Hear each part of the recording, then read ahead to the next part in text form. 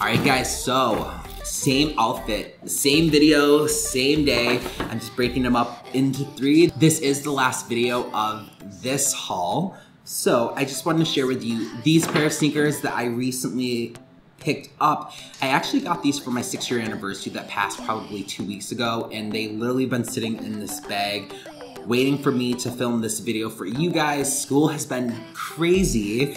Um, I'm now in like the week of midterms, so I know I probably have a good half of the day to film these three videos and edit them, but I'm gonna make it happen. So let's get into this unboxing.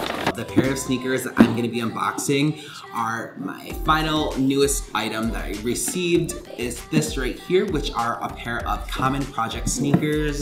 Ugh, I'm really excited about these. Uh, all of the Gucci sneakers that I bought were white. So I wanted to like step out and pick up something that wasn't black, that wasn't white. So I decided to go with this color right here. So inside the box, it looks something like this with a dust bag. This quality of dust bag is not as nice as the Gucci quality or even like the Louis Vuitton or Saint Laurent quality, but for $450, what do you expect?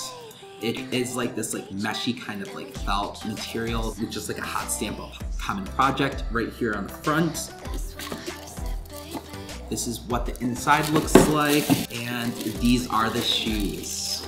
I really love this colorway. I've been eyeing up a pair of common projects for literally a year, but I couldn't find the pair that I liked. And then shoes always came out that I wanted instead. Like it was between these or Balenciaga. I chose Balenciaga. Um, the week after that, I it was I was gonna go pick up these, but then I picked up the Saint high tops, and then the Louis Vuitton, like just everything. So, but I finally got my hands on a pair of these. Look at this outfit right here.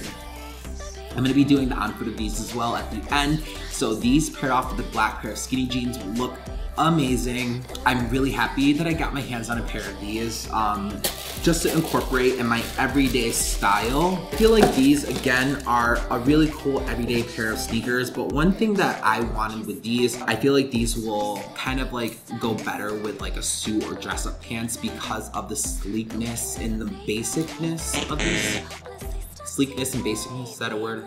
Let's hear it for Tyrone Beckham!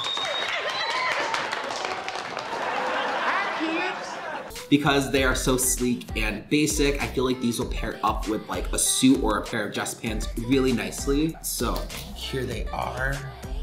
I picked these up in a size 44. These are true to size. Again, these are a little snug, just like the Gucci's. But I've noticed when they're a little snug, they break in very nicely because they are all, are all leather and they don't crease as much. So definitely go true to size. Remember, go a little snug if you can. I feel like they crease a lot less than sneakers that are just like a half size bigger. So yeah, if you guys are new to my channel, definitely hit that subscribe button. Go ahead and give this video a like. Comment below, let me know if there's any other brands or items that you guys want to see unboxed, and I will definitely take that in consideration for the next items that I purchase. So yeah, I'll talk to you guys later. Bye.